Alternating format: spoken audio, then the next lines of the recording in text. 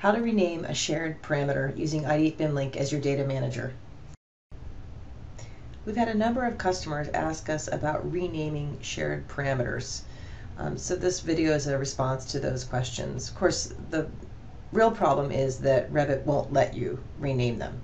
Um, so what we're going to be showing is how we can take an existing parameter, in this case one that's called serial number, and take the data that's already assigned to serial number and map it to a new parameter called COBie serial number.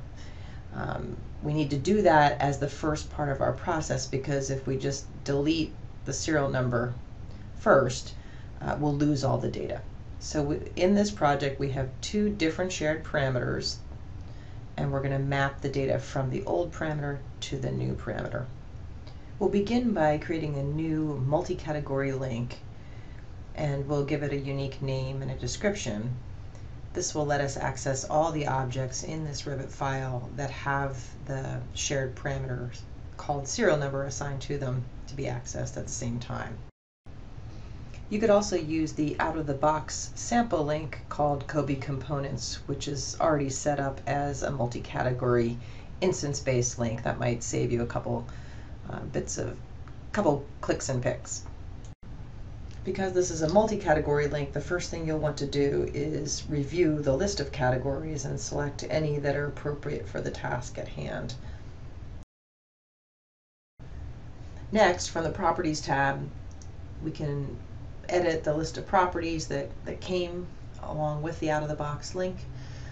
We can delete any we don't need, and of course we'll want to add in the two that we're trying to manage, and we can use a text search to look for the word serial in order to add those.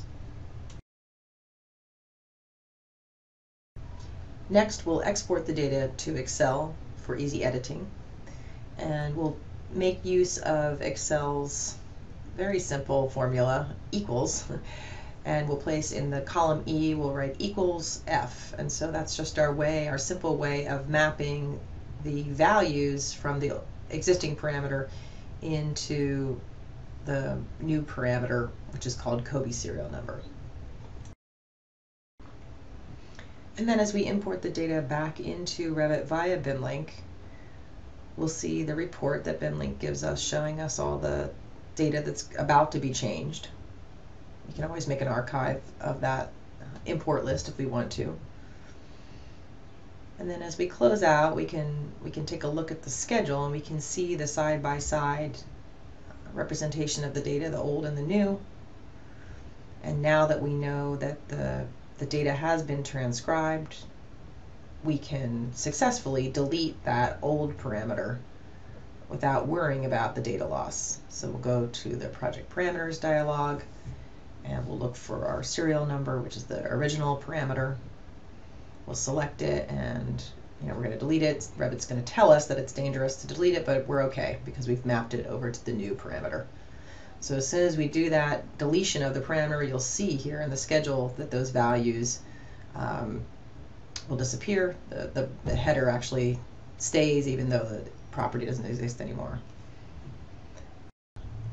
Using BIMLink to manage your shared parameter naming is just one of the many uses of Ideate BIMLink. You can learn more at ideatesoftware.com.